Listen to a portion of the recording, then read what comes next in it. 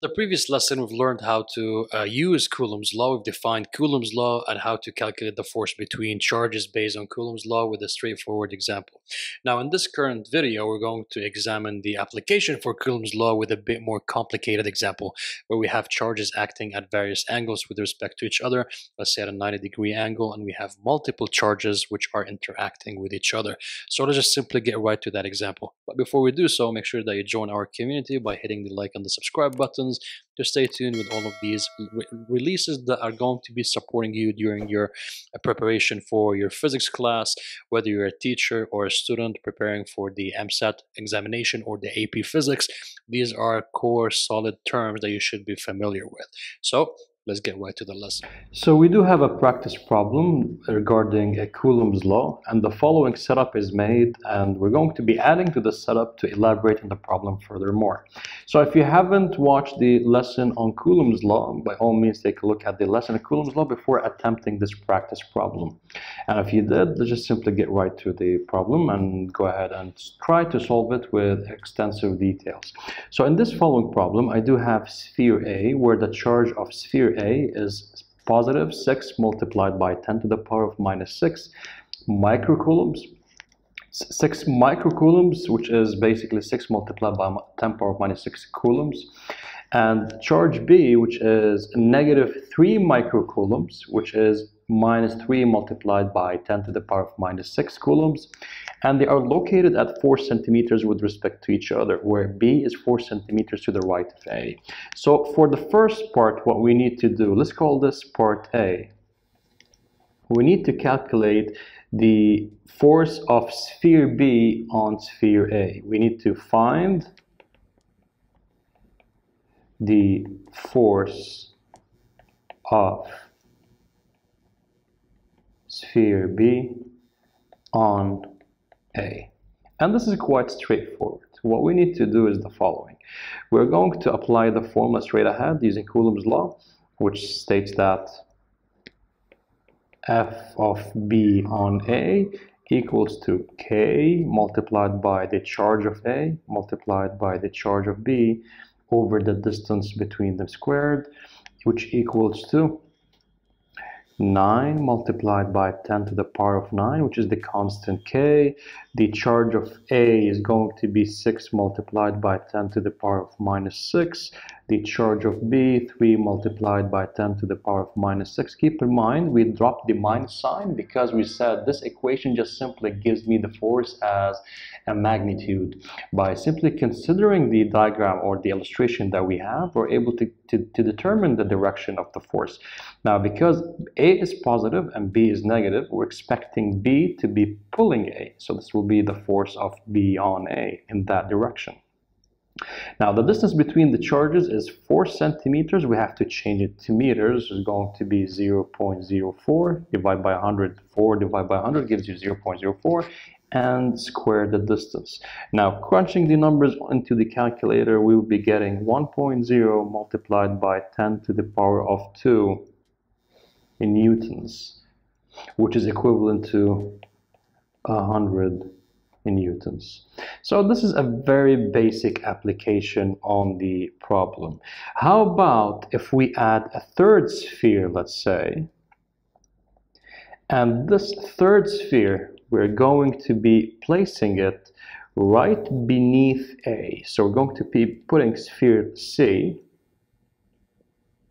Okay, so we added another part to the problem. This is the extra sphere, the additional sphere, which is sphere C, and we are which has a charge of plus 1.5 microcoulombs, which is 1.5 multiplied by 10 to the power of minus 6 coulombs, and it is located at 3 centimeters below A we need to find now what is the net force on sphere A. In the previous part, part A, we had straightforward application. B was exerting the force on A. But in this case now, we added a new sphere, which is sphere C. And the charge of sphere C is positive 1.5 multiplied by 10 to the power of minus 6, and it's located at 3 centimeters below A. So how do we attempt this problem? The first thing that we need to do is let's consider a free body diagram for A. So this is part B, where we need to find the net force on A. So let's represent A as a point, B as a point, and C as a point. Now, what are the forces acting on A? Because A is the main focus of the problem, so we're going to be having the following forces. We're going to be having the force of B on A is going to be to the right because the charge of A is positive and the charge of B is negative. Now, this is with regards to between the forces between A and B. Now, how about C? C is, is positive as well. So we're going to expect that, we're going to expect that C is going to be pushing A upwards, right? So this will be the force of C on A. So in this case, you notice we're having two forces and acting uh, at a 90 degree angle, right? One to the right, the force of B on A, and one to the top, which is the force of C on A. And this is where it gets quite easy. We're going to be calculating every single force by itself. How do we go about this? Follow through. So the force of B on A the same formula k q of a multiplied by q of b over the distance between them squared. And we calculated that part to be 1.0 multiplied by 10 to the power of 2 newtons. It, this, this is what this is the answer for part a. And now we need to calculate the force of c on a which equals to k into qa qc over the distance between them squared. So we're going to plug into the numbers, again, following the same procedure. 9 multiplied by 10 to the power of 9, which represents the k. The charge of A is 6 multiplied by 10 to the power of minus 6 coulombs and the charge of C, it's 1.5 multiplied by 10 to the power of minus 6 coulombs. And the distance between them, as we have elaborated here, is 3 centimeters. So we're going to divide this by 100. We're going to be having 0.03, the whole thing squared. Now crunch the numbers onto the calculator. The force of C on A is going to be 9 multiplied by 10 newtons to the power of 1. 9.0, which is basically 90 newtons, equivalent to 90 in newtons. So now we're able to calculate the force of C on A, F of B on A, which are the two, the two forces acting on our focal point here, which is charge A. But the problem is not over yet. Why? Because we need to find the net force. Now, if you've studied in mathematics, if you're having two vectors acting at an angle, and in this case, these are the two vectors that we have them. We got f of b on a and f of c on a. They're acting at 90 degrees. So we're going to be using the Pythagoras theorem, which states that if you have a vector a and a vector b, and you want to find the resultant of these vectors, the net force in this case, the resultant r equals to the square root of a square plus b square. So we're going to apply the same logic here. Because we have a net force that we're trying to calculate. This is our charge A. We have one force acting on it to the right, which is F of B on A, and another force acting on it towards the top, which is F of C on A. So the net force, we're going to expect it to be somewhere in between, which is going to be right here. This is F net, and we're going to be calculating the angle as well acting at an angle theta. So how do you calculate F net? Simply by applying the following formula. F net equals to f of b on a, the whole thing squared, plus f of c on a, the whole thing squared. Replace the numbers. We have 1 multiplied by 10 to the power of 2 squared plus 9 multiplied by 10 to the power of 1, which is 90 squared. Crunch the whole numbers onto the calculator. F net equals to 130 in newtons. So this is the net force acting on my charge A. So if I put my charge A between charge B and C, it's going to experience this net force, which is 130 newton. So we're going to calculate the angle at which it's acting right now, and this is where we transition to, to, to the mathematics of it. So how can we calculate the angle theta? We're going to apply tan theta, the tangent, which equals to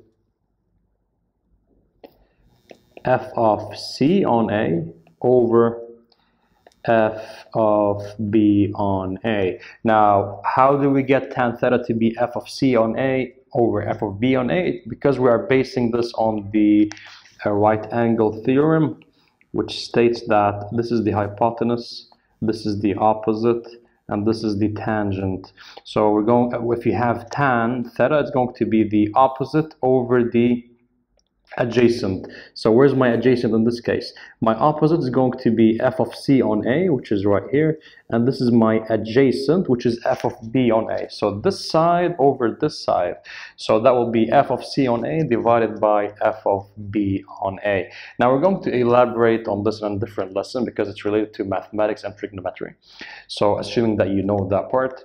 Um, now let's try to calculate tan theta based on that, taking, taking that into consideration. Tan theta equals to my f of c on a over f of b on a, replacing the values and taking the inverse because we have to unlock the theta from the grip of the tan. So theta equals to tan inverse f of c on a over f of b on a. Re replacing the values into the calculator, tan theta inverse 9 multiplied by 10 to the power of 1, which is tan 90, over 1 multiplied by 10 to the power of 2. Now you might be asking yourself, why am I putting 9.0 multiplied by 10 to the power of 4, which simply 90? Just simply for the sake of the scientific notation. Now it's not necessary from your end to do it, but just to be systematic in terms of the physics application, it's quite important that you do it from the uh, being systematic point of view. Other than that, you'll not be losing grades on it as long as you're able to get the correct answer towards the end. So theta will be 42 degrees. So it means my net force is 130 newtons acting at 42 degrees when I'm going to be adding this extra charge right here. So if I'm going to be placing my charge A with B on the right side and C at the bottom with the specific distances mentioned, my sphere A is going to be witnessing the following net force acting at this specific angle. So this is an elaborate example on the application of Coulomb's law. Just simply by all means, you can replay the video to have a smooth transition. Let's just break down the steps. We start by calculating the forces between A and B without any additional charge, which is straightforward application of Coulomb's law, which starts right here. Then we added the charge C, which is to the south or to the bottom under object A, charge A, and then where things got interesting a bit, where we used the Pythagoras theorem in order to calculate the net force, then we use a bit of trigonometric practices to be able to calculate the angle. So the second part is broken down to two to three steps. You find the net force, you find the you find the forces individually, then you find the net force, then you find the angle. So take a look at this video again, replay it, transition through the steps uh, one, one at a time just to make sure that you're able to do it and trace your steps by yourself. You can pause the video, try to attempt it by yourself from the beginning and walk through the problem one step at a time just to make sure you're able to grasp the concept. So this wraps it up for this example on Coulomb's law that you found the lesson beneficial. Now, if you're a physics student who's going to be embarking on a journey for your AP preparation, EmSAT preparation at a high school level, college entry level, or engineering student who want, want to brush up on these concepts, then this place is definitely for you. Which we're going to be sharing with you these premium quality educational content that will surely push you in that direction. So by all means, click the subscribe button and join our community, and I'll see you in the upcoming lesson.